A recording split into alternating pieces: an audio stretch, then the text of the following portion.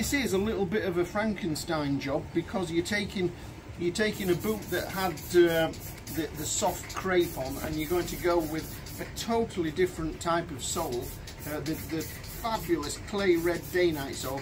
I'll put some pictures up of how they come out.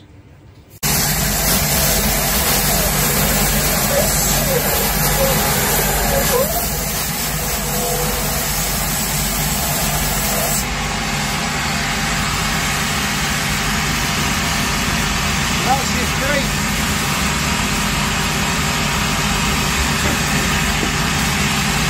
Lovely.